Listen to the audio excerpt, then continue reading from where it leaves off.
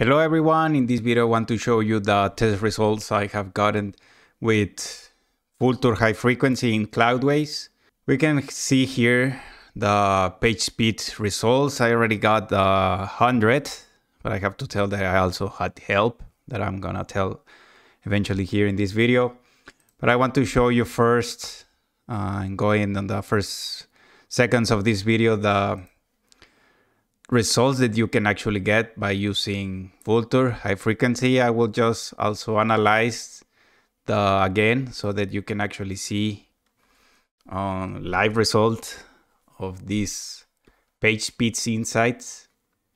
And as you can see, I get 89 on the mobile and hundreds on the desktop. But if I also test another pages of my website, I can also get even almost a hundred or also the even the 100 on the desktop. But if i test with other urls from my website so i want to show you the GTmetrix that i have got with Vultr high frequency.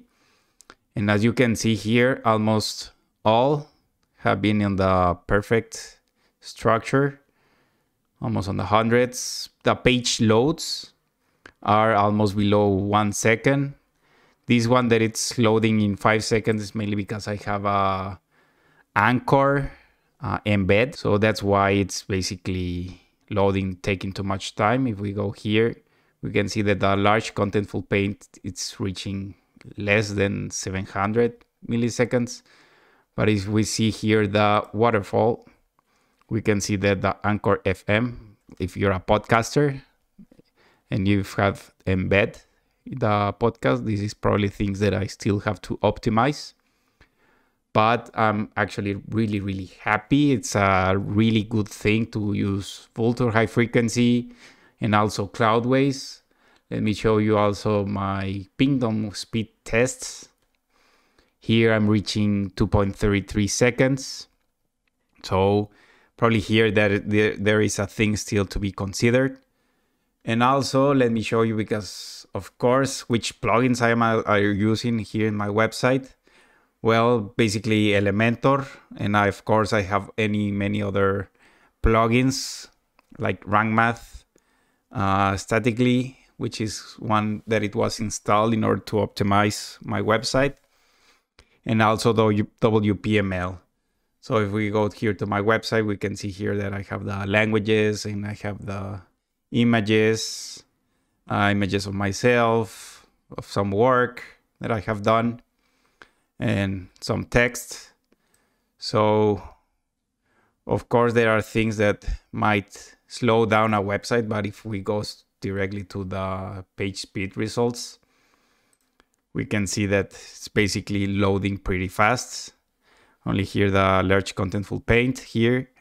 It's on the below that's 800 milliseconds. If we go here that on the waterfall, we can see that I'm having five requests and also we're getting also the milliseconds or then it's also waiting below the 400 kilobytes. And to show you the proof that I have it here, here I'm just uh, showing here that I have my Vultr high frequency and in case that you need even more speed, you can easily scale up the servers. That's a good thing of using Cloudways. In case that you need uh, two gigabytes of of RAM and two terabytes of transfer, you can easily change it. But there's a thing that if you are using LA's um, Vultr high frequency servers, then there will be some uh, limitations. So I recommend actually to use either Silicon Valley or check out any other depending on your region. Of course, I'm in Mexico, so probably uh, the closer ones were either in, in Texas or in California. But if in case you need uh, more power, you can easily scale. So that's a good thing of having Cloudways that depending on your website's visitors amount, you can easily when you need, you can scale up your website. And also the other tip that I will give you is to use either some Fiverr uh, freelancers, but on the core web vitals, since there are many ones that can help you to reach and optimize your websites. Actually, the one that I used and I contacted was Remat. So he was the one who helped me to reach the hundreds. So eventually I will wait a little bit more to see my core web vitals on my Google search console to see the results. But if I go already back again to the page speed, I'm actually really happy that I'm finally getting better results on my website speed. So this has been the page speed test of Cloudways Vultr High Frequency. I hope that you liked the video. If you have some question, don't hesitate to write on the comments. Thanks for watching.